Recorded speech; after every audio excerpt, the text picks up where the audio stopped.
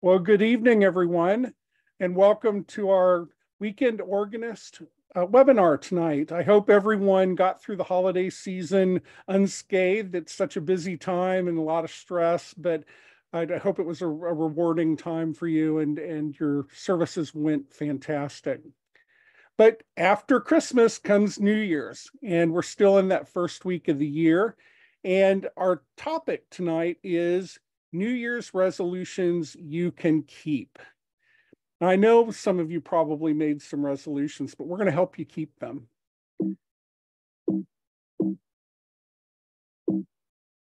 And not advancing.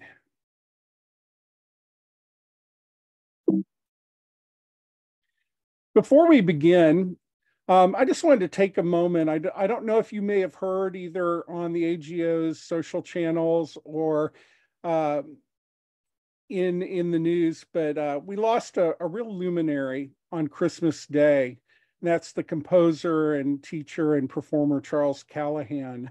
Uh, for those of us that that play uh, churches for a long time, I mean, he he was very prolific and wrote so many works that uh, many of us have have played. And it's it's really funny. Our next webinar is going to be music for manuals. And i'd actually reached out to him to ask him if he might be a special guest. And unfortunately he had he had been hospitalized and uh, passed away. So we we do remember dr callahan and uh, we will be talking about some of his works tonight and especially in april for our music for manuals webinar. So we'll tell you more about that a little later so, what is a weekend organist?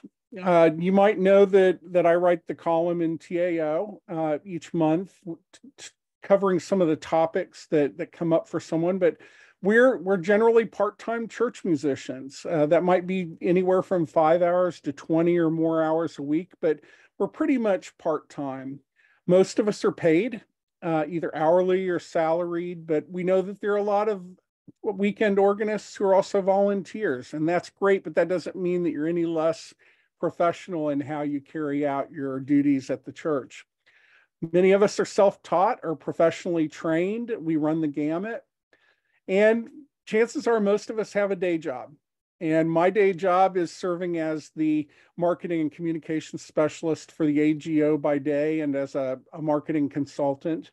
And uh, by the weekend, I, I get to put on my organ shoes and, and do something I love equally as well. And as weekend organists, we typically have to do more with less because we've got a day job. Many of us have families and other commitments. So practice time sometimes is hard to find. Many times we play in smaller churches. Maybe our instruments are limited. We have to really think about how to use them to their best um, advantage. Budget again in a smaller church coming out, after COVID. So many churches were really hit by that. And so budget can be an issue and also volunteers. Many, many of our choir members and our music, music colleagues didn't come back after the pandemic. Uh, I'll give you a great example. I had about eight or nine in my choir on a, a given Sunday and came back from COVID, and now I'm doing great when I have three. So it really does force us to be creative and to use our resources and stretch them. But here's the most important point, and I hope that no matter what your situation is, I hope you'll remember that you know we may play in small churches, we may play part time, we may have small choirs, but our music ministries are just as meaningful to our congregants as as any big church with a full staff and paid choir uh, we're we're doing we're doing great work, and so I hope that you'll keep that in mind at all times, even even when it gets stressful, even when it gets a little tough. It's it's important to remember that our, our work has meaning and value. And just to give you a sense, uh, 60% of AGO members are part-time or weekend organists. So it's we're actually the biggest demographic, I believe, in the AGO membership. And so it really is important that we do our best to meet the needs of, of the weekend organist. And here's a request I'm going to make of you. Um, we'd like to know more about you and uh, what you do at your church, how, how many hours you work a week, what, what resources would be helpful for you, what future programming would be beneficial if you could take a few minutes, uh, my very capable assistant, Dan McCaffrey, who's the AGO's membership and technology coordinator, I believe is going to put the link to a Survey Monkey poll in the chat and he'll he'll drop it in a couple of times over the course of the webinar. Please take a couple of minutes. It's it's short, it's 15 questions. Most of them are just check the box, but it's going to really help us to understand how we can help you. And that's the the number one priority for what I'm doing with the column and one of the priorities that we're placing on programming for AGO in general. Okay, so let's get down to the nitty gritty. New Year's resolutions. 27 million Americans made New Year's resolutions. And that's uh, that's been a pretty consistent number from what the research that I've done.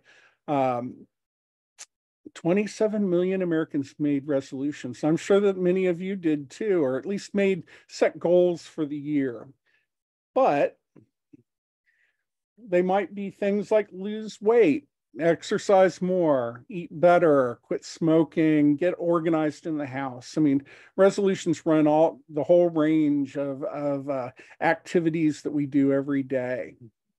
But what does what does a church musician make for a resolution? And I'm going out on a limb on this. I think that I think I may be right, but please feel free. The chat's enabled. Uh, jump in there if you'd like to share your resolutions. We'd love to see those as well. We can get some good conversation going in the chat. 12%, just 12% of people who make those res resolutions stick with them for 30 days or longer. Is that shocking? I don't, I don't know. I, I hope not, but but it seems seems kind of reasonable. So we had all those millions, then we whittle it down and say bye bye to 88% uh, of them, and that's that's who's left, and that's 30 days is just a few days away.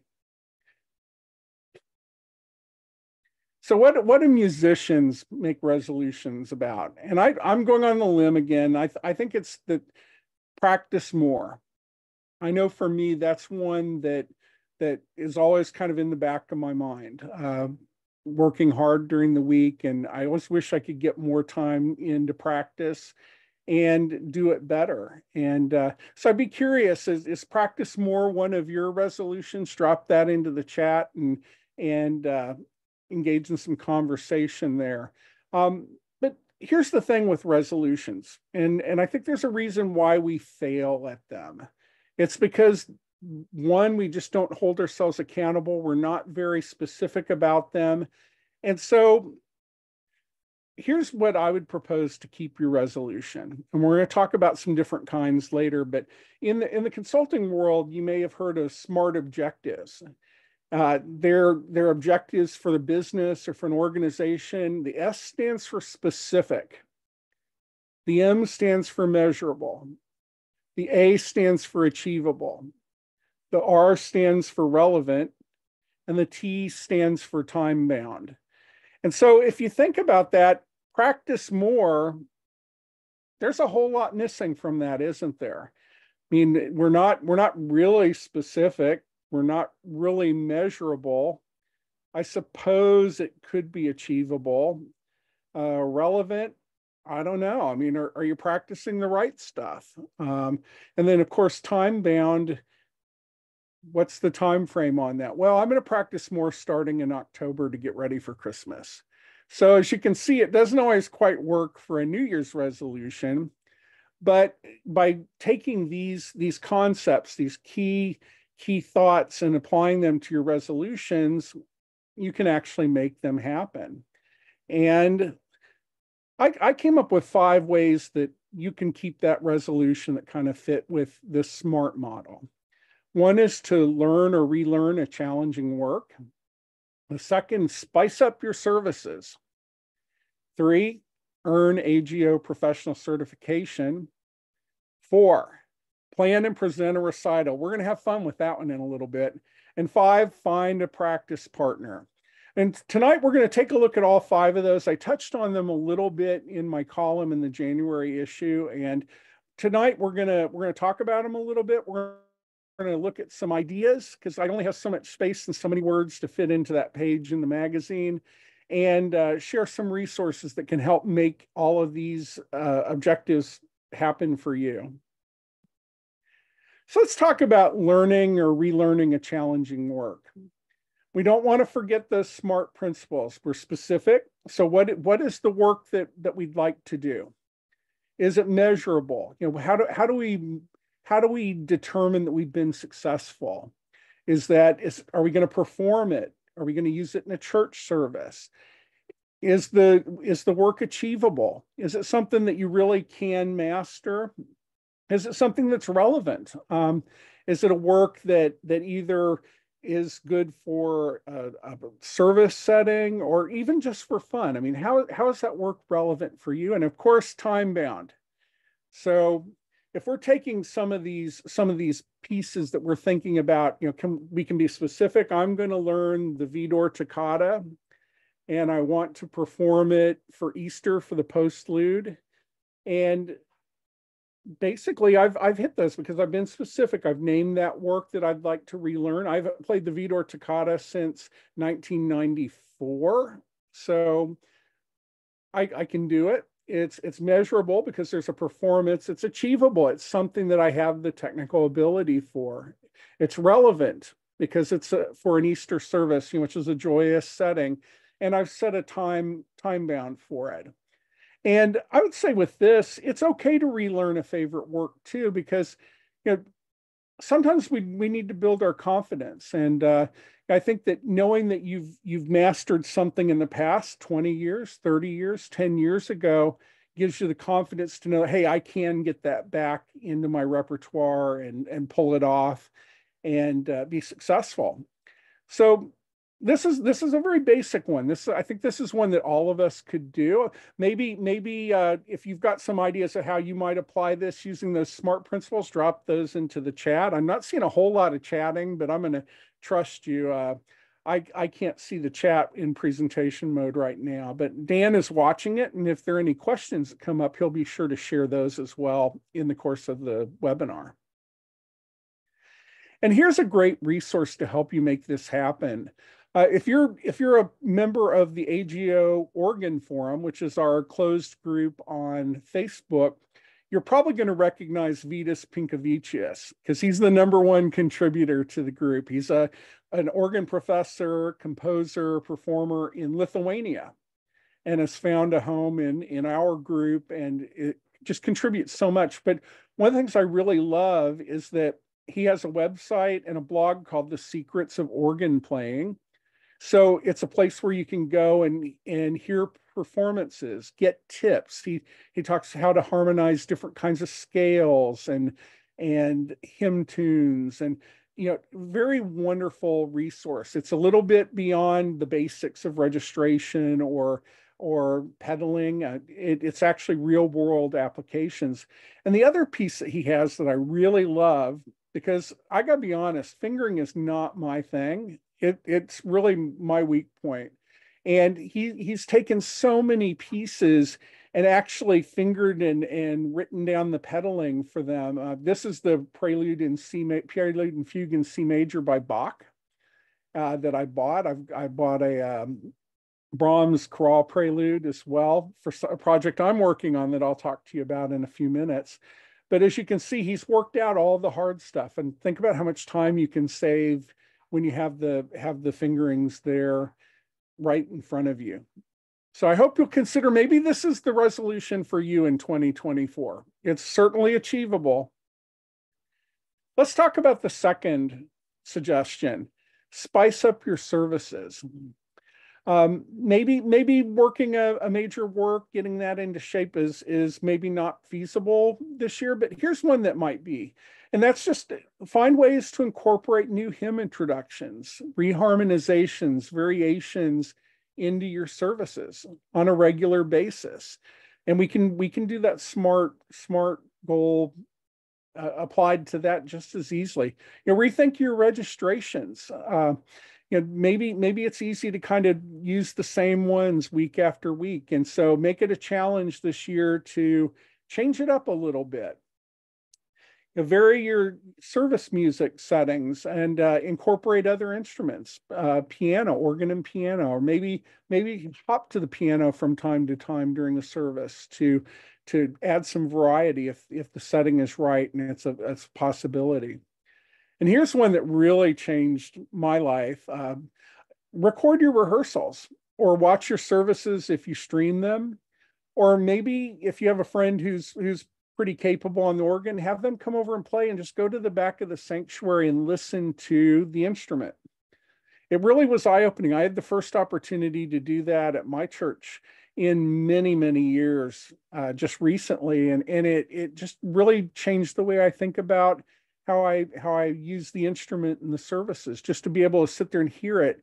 And so often the console may be right under, kind of even a little bit below the pipes, or it's off to the side, or maybe it's in a corner.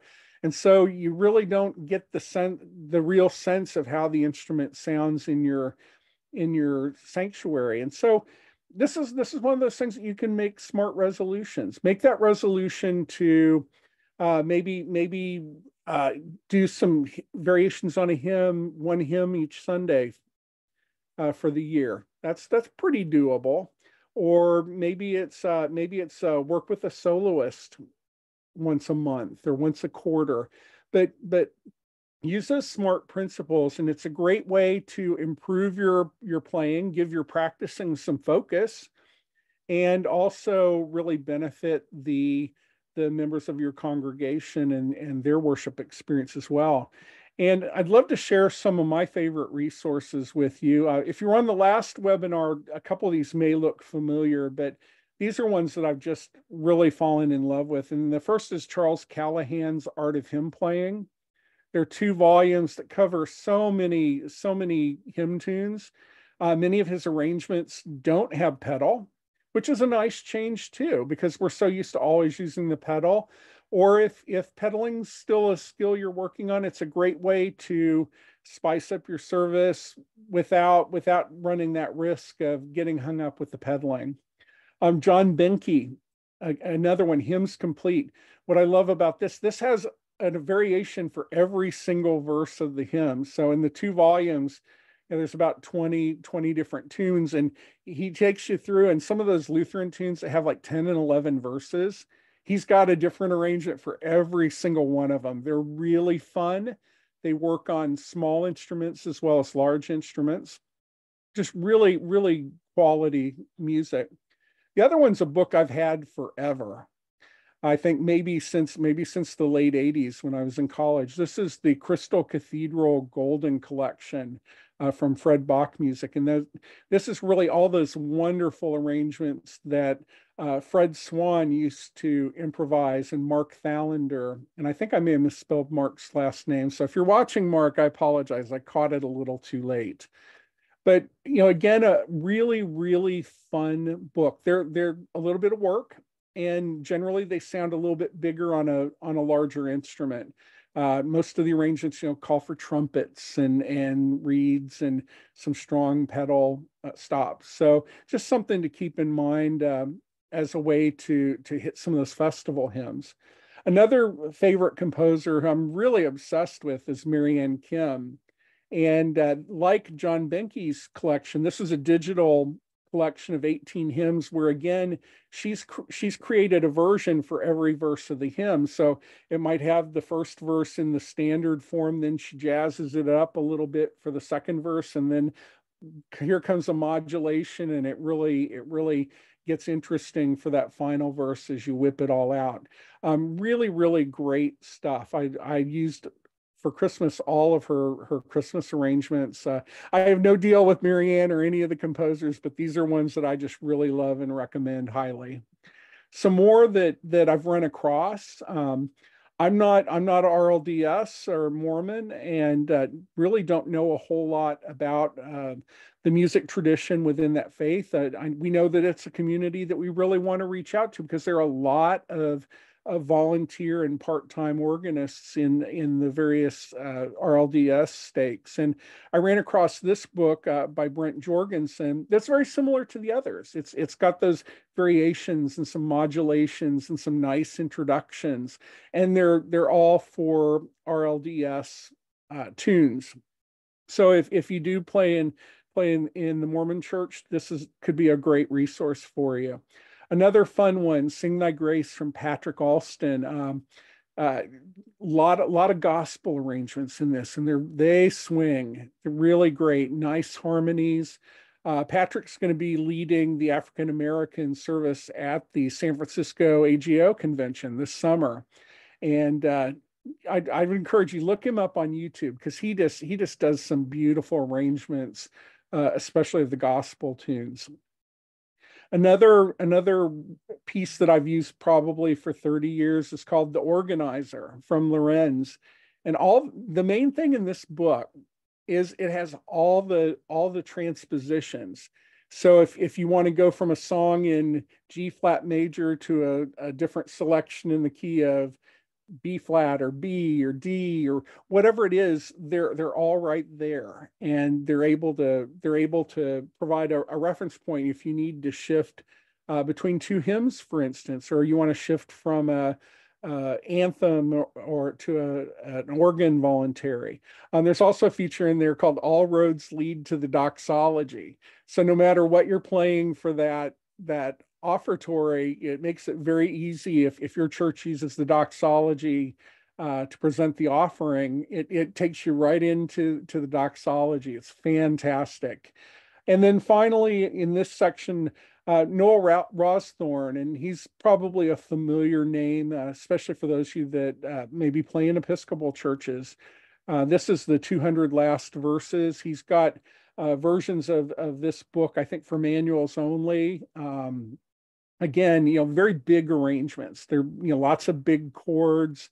Um, they may or may not be right for your services, but uh, I think that they're they're very exciting and and grand, and and it, it really does give your hymns that sense of the cathedral. So it's worth checking out as well. And then a couple more resources that uh, I'd love to share with you. St. James Music Press. Now, we tend to think of St. James Music Press as really being a, a, source for choral music. It's a subscription, and you buy the subscription, and then you have the ability to download you know, all the choral music you need for that year. But there's there are a lot of organ works on there too, and and some worship worship aids there. So check that out, and uh, I'm sure they'd be happy to sign you up. I just got an email today from them uh, pointing out their organ works. Uh, so worth checking out. And then also the Association of Lutheran Church Musicians has a an online library that you can pull down that includes a lot of hymn variations as well. So those those traditional hymn tunes, it's there's some nice last verses or some nice quiet verses. And so that's a great place to to check out, especially if you play in in a Lutheran church. Okay, so now we're going to talk about number three. And I think number three is probably, in my mind, is the most challenging. That's why I put it in the middle, you know, kind of the mountain. Um, have you considered getting AGO certification?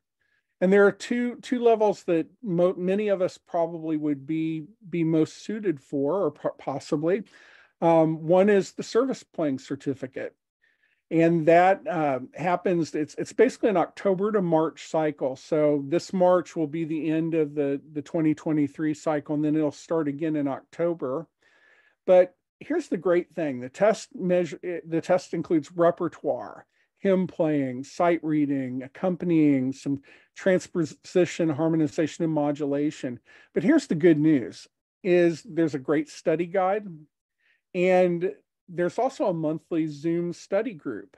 So if you think that you that this might be something you'd like to pursue, um, there's a lot of support there to help you achieve that. And uh, and I, I hear that the Zoom group is going great. And uh, so it might be worth checking out. And you can go to agohq.org slash certification to find the, the exact repertoire requirements. I believe you have a choice of you have a choice of several different options in each category. And then the other one is the colleague certificate. And this is one I've I've put it in print that this is something I'm pursuing this year. That's a that's a good way to hold yourself accountable because um, you know I certainly hope that come next January you know, I've got that hanging on my wall because I I put it out there. And this one works a little bit differently. It's, they they do recordings um, twice a year, once in March, mid March, and the other time in mid November. And you can see this. The cost is about two hundred dollars uh, for both sections, uh, 150 if you're a student. But you can also you can also divide it up. You can take the you can take uh, the the two sections separately if you like. And again, you know, this is measuring basic repertoire, hymn playing, sight reading, accompanying transposition. Um, in the case of the colleague, the I've picked uh, William Mathias's uh, processional as as one of my pieces, if you're familiar with that. And there's a Brahms chorale prelude, and then that C major prelude and fugue by Bach that I shared with you a little bit earlier. Um, you know that really helped me to get started. It, it's been many many years since I've tackled a, a somewhat major work of Bach like that, and so um, you know again, just a, a great place to go for this is is Vidas's Secrets of Organ Playing because he he has videos that demonstrate how to harmonize scales and and harmonize tunes. And again, there's that music that's that's already been fingered out for me so I, I hope that that you might consider doing that. It's a you know a real sign of personal accomplishment uh, to to complete one of the AGS certifications, and um, you know give it a go. If if you think that's something you might be interested in doing, drop that in the chat too, or or let me know. You know it's it's always great to have someone to support and cheer on and and hold each other accountable. So I hope that's one that you may consider.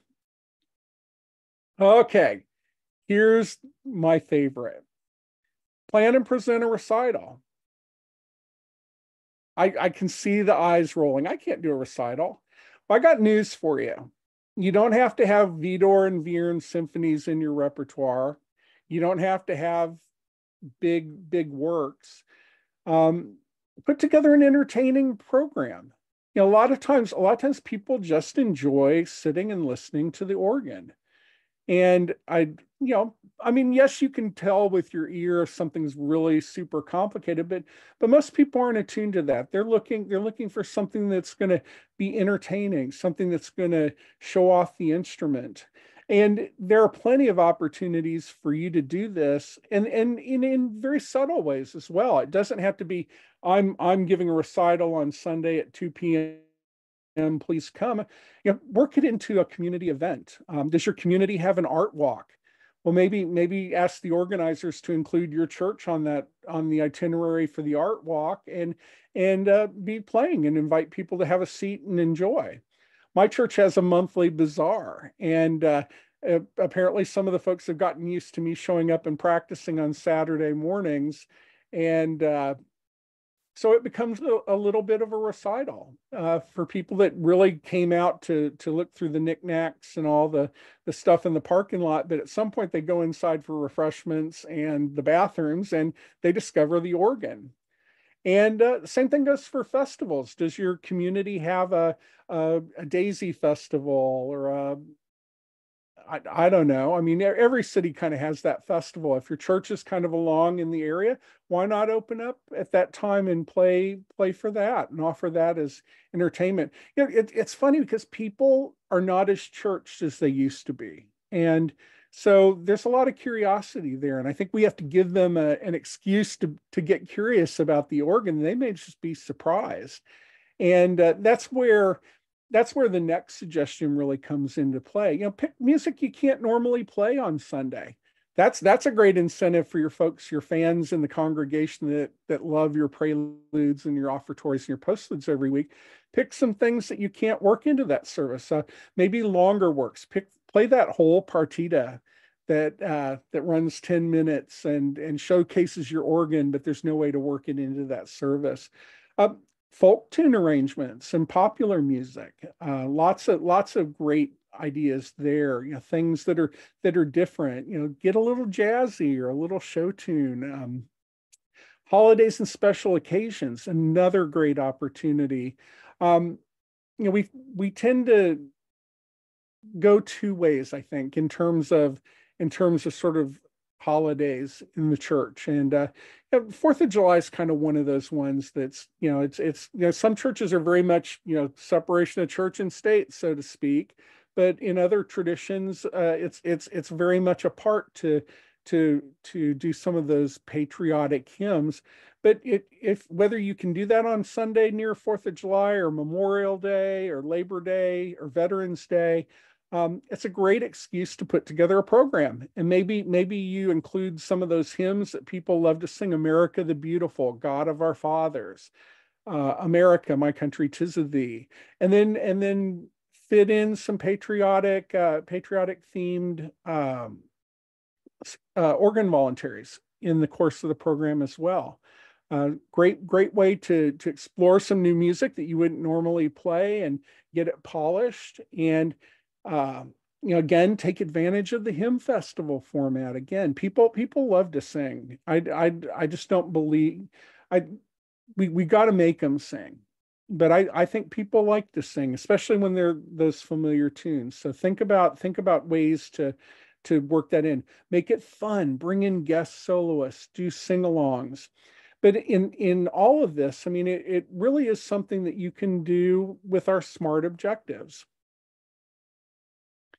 Here, here are some of the themes that I just I sat down and, and thought up. Uh, you know, our holidays, you know, Mother's Day, patriotic, Halloween.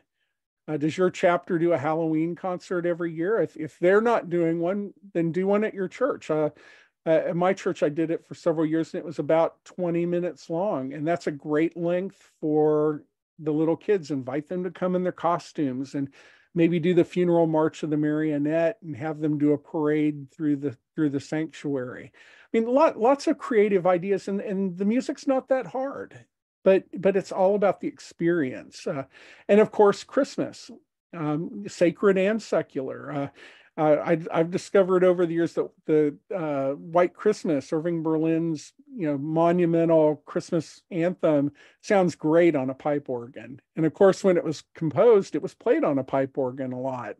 Um, you know, just a just a great fun way to to uh, introduce music into the organ. Hail Britannia!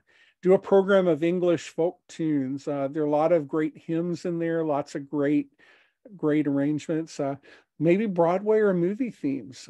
Uh, you can take uh, there. There's some sort of simplified organ versions of many of those, or you know, work with a piano arrangement and turn it into an organ piece. Do a program hooked on classics, and pull out all of your favorite tunes: the Swan, uh, Saint-Saëns, and uh, Ave Maria, and and all of those favorite ones.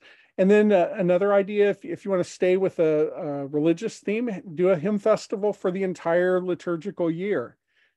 Start with start with Advent and work your way through Christmas and Epiphany and Pentecost and Easter and Pentecost and and pull out arrangements of all those favorite hymns that that folks love to sing over and over and over. And the great thing, again, it fits with our smart our smart principles. It's specific, measurable, achievable, relevant, time bound. You can do that. This, I can't think of a better excuse to practice than to put together something really fun like this and get my congregation involved. And the last of, of the five ideas is find a practice partner. I mean, sometimes sometimes practicing it, it, you know, long hours in the in the church. Maybe it's at night and the lights are all off and you're kind of lonely. Um, you know we all have our have our our little routines but uh, find somebody to work towards one of those smart resolutions. Maybe maybe a pianist work on organ and piano duets. Duo organist there are a lot of pieces arrangements and original compositions for two organists on one console. And uh, you know if you think of the octopus that's exactly what it is. Uh, uh Raymond and Elizabeth Chenault have a fantastic arrangement of the Stars and Stripes Forever for organ duet. And um, the first time I did it as a duet, uh, I had the choir director with me at the church that I was at at the time. She just started organ, but by golly, she pulled it off, and uh, we had people clapping along and standing up. So it, you know, think think of fun ways to to make practice fun and and still learn new music. Uh, organ and instrumentalist or a soloist, whether that's a vocalist or a, maybe you have a great uh, harpist. You know, I, I only have three in my church choir, but of all things, I have a professional harpist.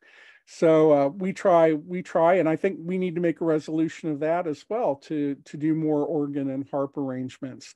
But but make it fun, and uh, you know, practice is never that bad when you're when you're having fun. And to keep with our smart resolution, plan to perform.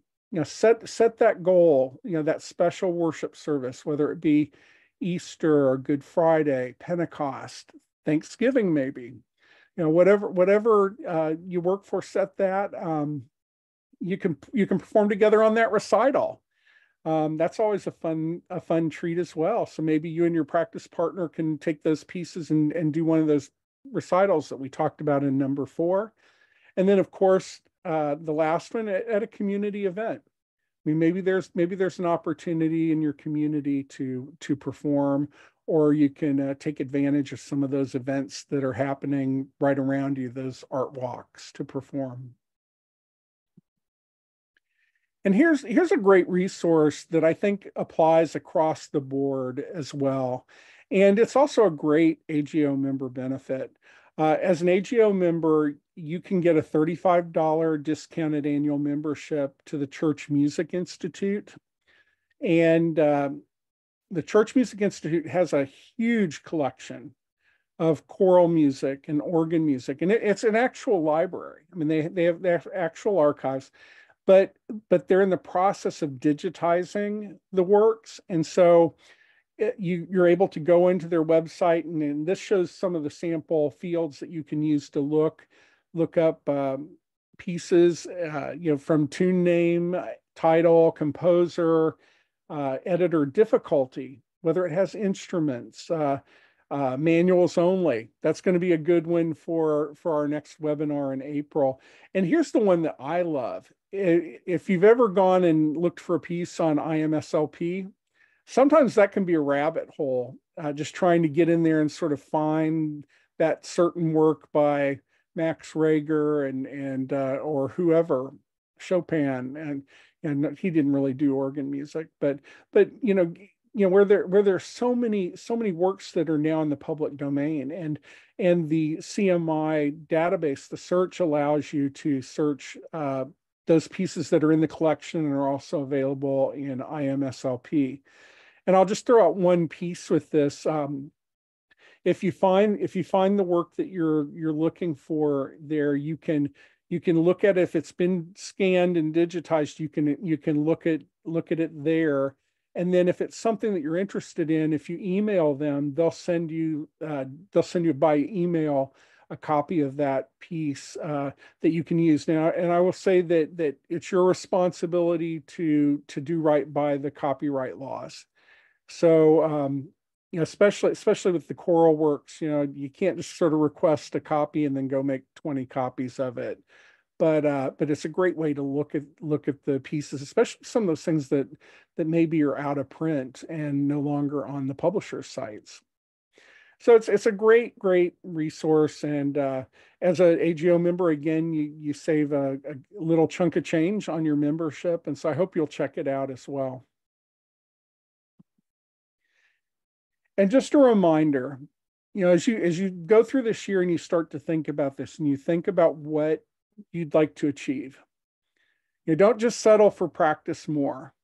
Let's let's think about being specific, measurable, achievable, relevant, time bound, you know, apply that to your resolutions. And I'm, I'm going to ask you to do something. You know, maybe if if if you feel up to it, go into the chat. Now that we've talked about a bunch of ideas, throw throw out your your smart resolution for the year. And I think it's sort of fun to see what others are thinking about. And you know, you may find that that some of you have share the same resolutions or similar ones, or you might get a great idea for one that you'd like to you'd like to pursue as well. I mean, part part of why I'm really enjoying the weekend organist the most is because we're building a community. And uh, you know, in this post-pandemic world, you know, a lot a lot of churches have struggled. A lot of our AGO chapters have struggled a little bit to get back to to where we were before the pandemic. And so, so we're trying to build a community here, and you'll find that on our AGO Facebook page and in the AGO Organ forum. And so, uh, don't don't be afraid to to share your thoughts and uh, see what see what you come up with. You know, a couple couple things coming up just to to get the juices flowing too. February is Black History Month, uh, so maybe maybe one of your resolutions could be to incorporate a piece by an African American composer into a service. Um, many of us are, are, very much aware of Florence Price, Adolphus Hailstork. I just got a great collection of spiritual arrangements that he did. David Hurd, another contemporary uh, composer who's very much uh, active. Uh, you, there are also several volumes of the African American organ music anthology uh, edited by Mickey Thomas Terry. So the, those are those are some great resources you know, if you'd like to make that a part of your resolution this year. And another one coming up in uh, March, March 10th, is Woman Composer Sunday. And this is a this is a pretty big initiative from the AGO this year. Uh, we're working really hard uh, if you've seen your January issue of TAO, the American Organist, you saw that there was a, a work published in there by Elizabeth Stirling, a 19th century English composer. And the fun part of this is we're actually following we're following up in February and March with two more publications. They're all super accessible. Um, the one in February is by Dr. Roberta Bitgood, who's a form, the, she was the first female president of the AGO. And it's a chorale prelude on the tune Children of the Heavenly Father. It's just, just beautiful. And then in March, uh, we have an arrangement of Let Us Break Bread Together. So if you're in one of those churches that does communion every week, that's going to be one that'll be very helpful to you. Uh, to to pull out, you know, to, to keep things fresh for communion time. And uh, I'd be remiss if I didn't also mention that we'll we'll be having a webinar in, and I believe it's the second Monday in February, uh, talking about Woman Composer Sunday and sharing some ideas and repertoire.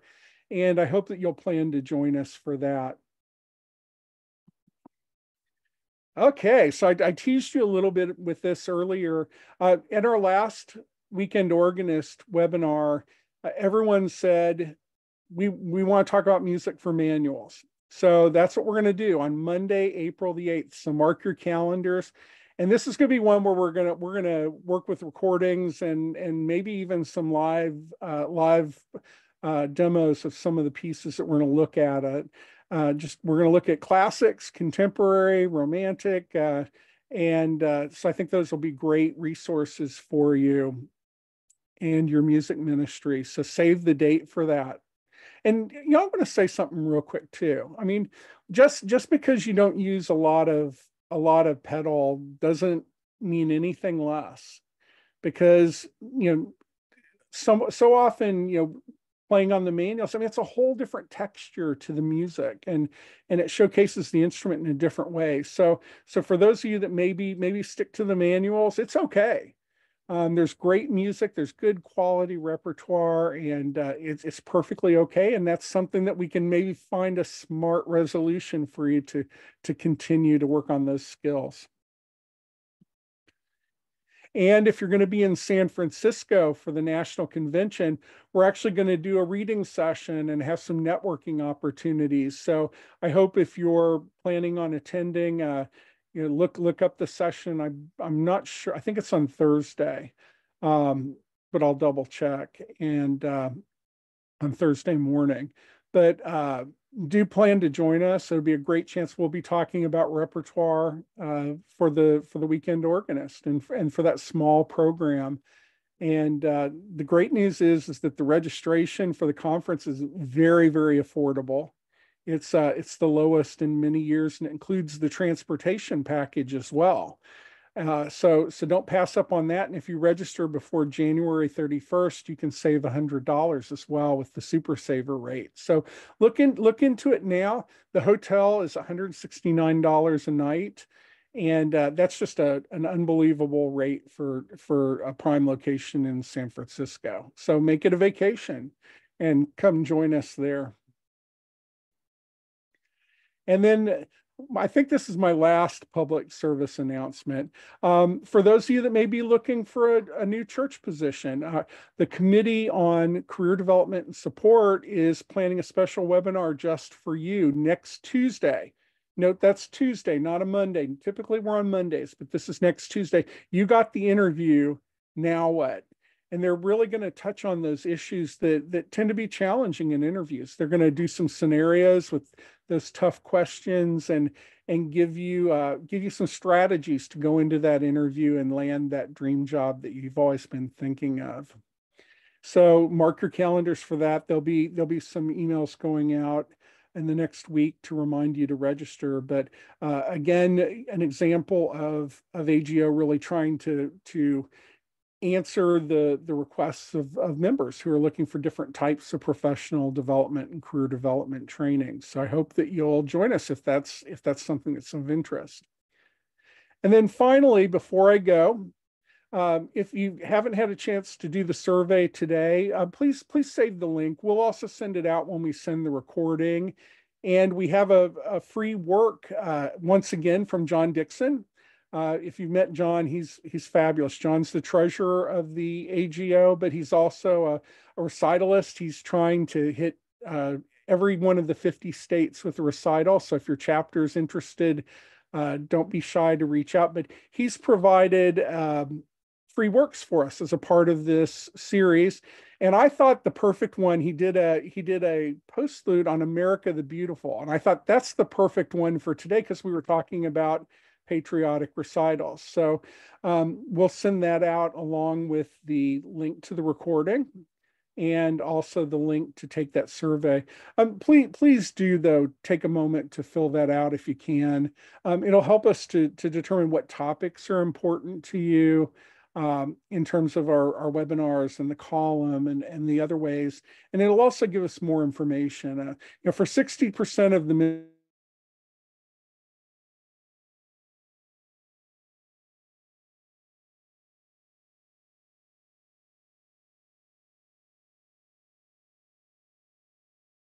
what what your working conditions are like and and I mean you know ask things like how many Sundays do you get off a year? And so anyway uh, with that I'm going to wrap up. I want to thank Dan McCaffrey again for being our, our support behind the scenes. Uh, if you have, if you've never had the opportunity to speak to him call the office because he's the voice of the AGO as our executive director James Thomas Shower likes to say um, just a really fantastic new addition to the team.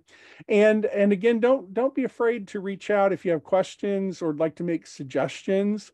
Um, we're we're here to listen to you and and see what we can do to to support you and your music ministry. So happy New Year! Get out there, write those write those resolutions, but more importantly, keep them. And we'll see everyone again in April for Music for Manuals. Good night.